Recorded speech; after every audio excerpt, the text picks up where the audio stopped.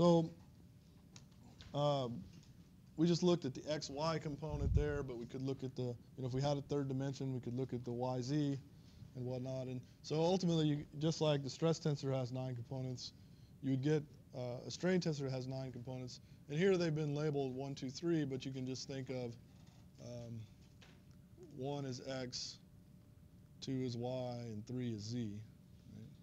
But if you, if you label them one, two, three, it allows us to write the thing more compactly. Uh,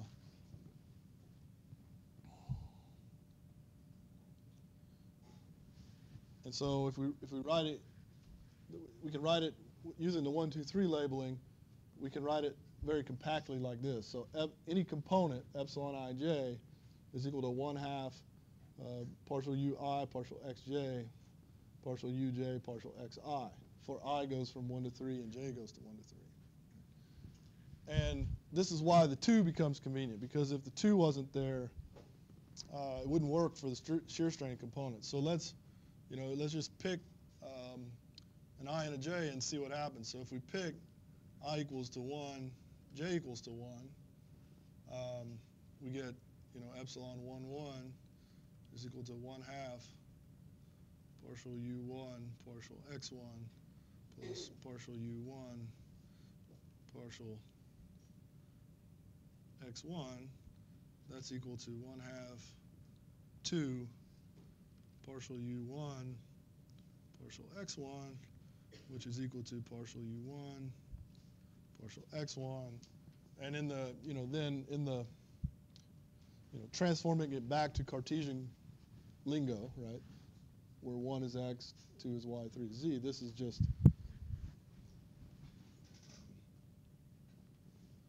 partial u x, partial x? And so that's what we had for our normal strain, right? The x, the x normal strain was that guy. Likewise, if we say i equals 1, j equals 2, then what you'd get is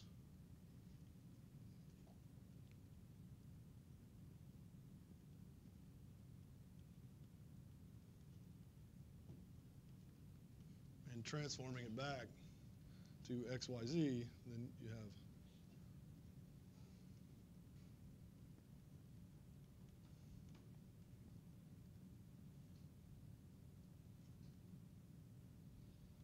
that.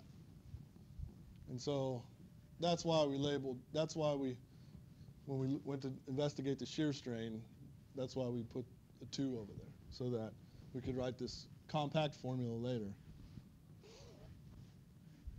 that works out.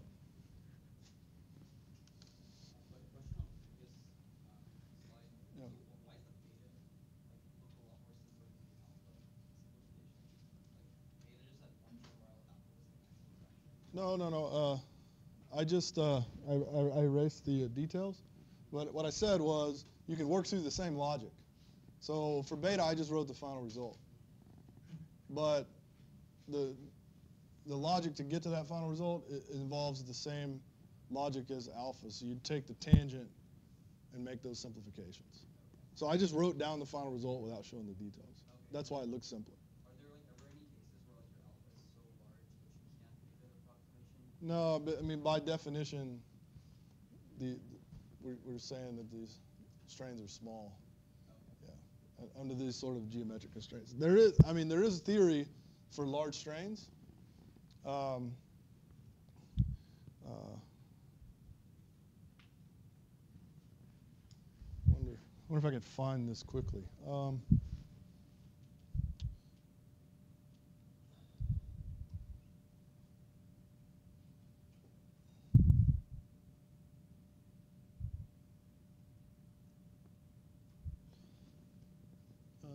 Give me just a second.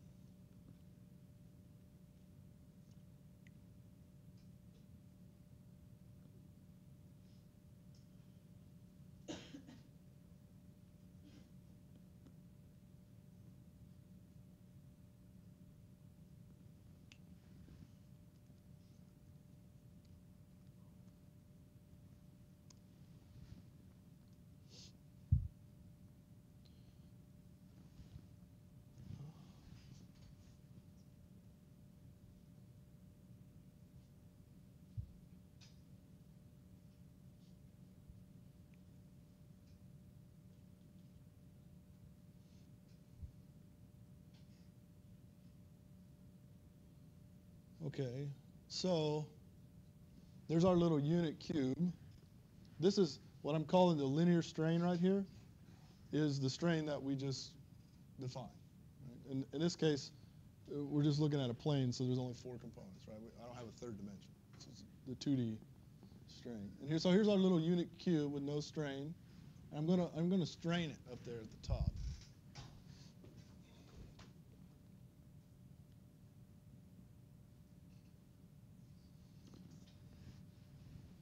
So I, applied some strain, and this is the computed strain tensor from that shape, okay?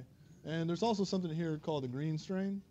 So this is a, uh, this is something you'd learn about in, in, in graduate continuum mechanics. But the green strain is, is valid for finite deformations, large deformations.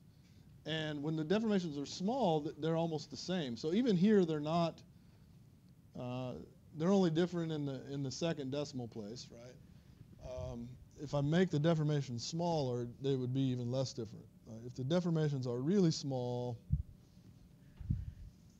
they're, they're pretty close to one another, right? The two strain. By the way, remember when we first started talking about strain, you know, we just said strain is like some change in length normalized by some length. Right? And so there's actually an infinite number of strains we can define. It's just this linear strain is the one that makes the most sense geometrically when we sort of go through the, the workings of the geometry for small for small angles. Okay. But here's the curiosity, and the reason for showing this, I guess. Um, you remember, strain has to do with uh, change in shape and volume of a, of a material, right? Uh, so if I have a valid strain measure and I, I've changed the shape and, and volume of the material, but then I translate it or rotate it, I'm not straining it anymore. So in other words, if I take that shape there and I hold it fixed, I haven't strained it anymore, and then I begin to rotate. I shouldn't change the strain because I'm not straining it, right? I'm not, I'm not deforming it anymore. But look what happens to the small strain when I rotate this thing. Changes. So basically, it's not valid under large rotations. So it's a it's a simple model that works good for small or zero rotations, but will not work. Uh, and it's important to understand the, the, the sort of difference between um, you know large strain and large deformation or large rotation because I can have a very small strain, but a very large deformation, believe it or not. And one example would be if I had a very, very long, slender beam. Imagine, imagine I'm, you know, holding a, a well, like a maybe like a ruler, you know, like a like a long, like yardstick type ruler, uh, made out of wood or or uh, possibly metal. Um, if you were to say stick a strain gauge on that beam, on that ruler, and say, say I wish I had one, you know, imagine I clamped one end of the ruler here, and it's a yardstick, so it sticks out to here, right? If I were to stick a strain gauge on that thing and push on it and bend it, the strain would be very, very small. I'm not actually, the change in length per unit length, if you will, is small. And it would, it would be very, very small strains. But however, just visually, you'd see the deformation is large, right? Because there's a lot of rotation. And so that's not, this is a complete aside from this class, but since you asked the question, um, this would be something you would consider in a graduate class in continuum mechanics or something like that, large deformation. So the, the strain that, that we were talking about is, is, you know, we call it the small strain or the linear strain. It's, it's geometrically linear. Right? And, um, and, it, and yeah.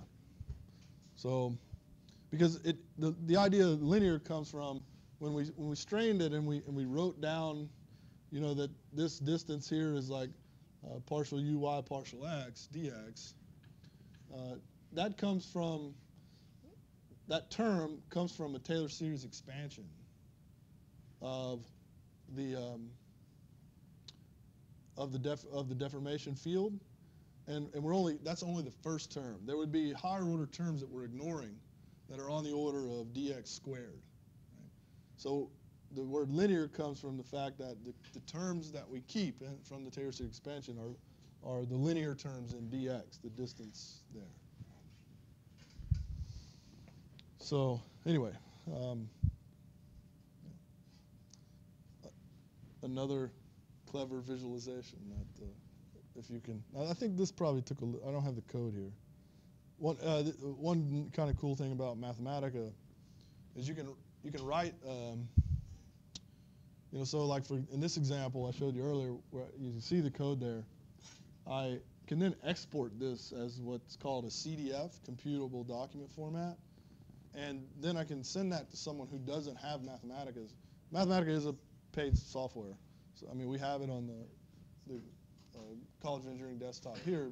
You don't have to pay for it, but uh, you know, otherwise you'd have to pay for it. But what you can do is you can create these little animate, these little visualizations, or in this case, you know, it's sort of a little uh, widget. Uh, and this is what I used to create. Um, this was several years ago, before uh, the Jupyter Notebook had these widget functionality. So, you know, I, I give you this rotation, and I did that because I can do that all with open source free software.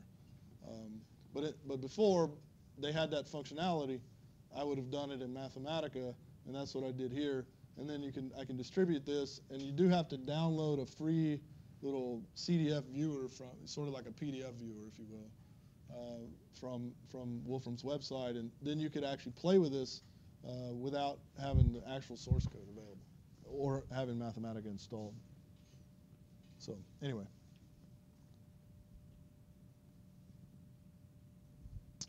Okay, so um, we define our strain tensor. And uh, just to remind you also, like what we're trying to do here is we're trying to we're trying to close the problem of conservation of momentum. Remember, we, we have a conservation of momentum equation which uh, relates displacements and has this divergence of stress term in it. And we're trying to get that we're trying to get a relationship between stress and displacement. Right?